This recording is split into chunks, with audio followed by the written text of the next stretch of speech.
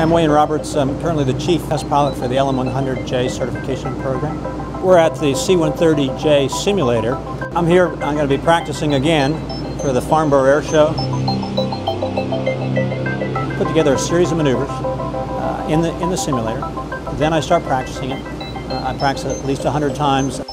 My goal is, is that every time I brake release, to a full stop, the airplane does exactly the same thing every time. There's kind of what I kind of call my signature maneuver. When you go about 20 degrees angle back and pull back, and I'm showing that excess power and that tight turn radius uh, to be able to power up.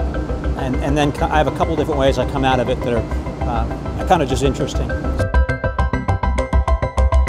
With that situational awareness of the J, you can then, for the first time, get an opportunity to max perform the C-130 uh, safely. And it's all about that predictability.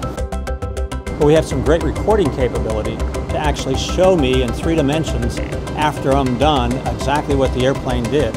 Each of those is actually a series of maneuvers that I've done uh, over the 20 years. Uh, adjusted a little bit, made a little bit better each time, but always put together in a different sequence. And always looking for, for ways to, uh, uh to get the maximum performance out of the airplane in eight minutes. Traditionally, I've gotten two days to practice in the airplane after months practicing the sim and I'll do a minimum of 10 show practices in the airplane over two days, typically five each day.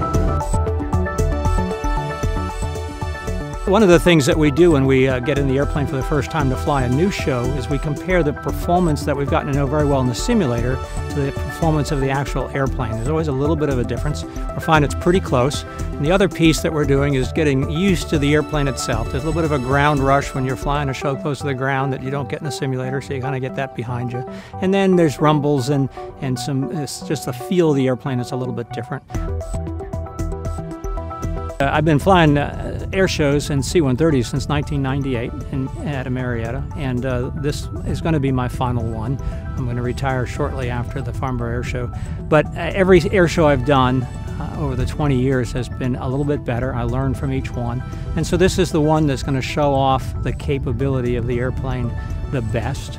Uh, and it, it's something I wanted to do. I think there was a little bit more performance we didn't get a chance to show, and so this is an opportunity to do that.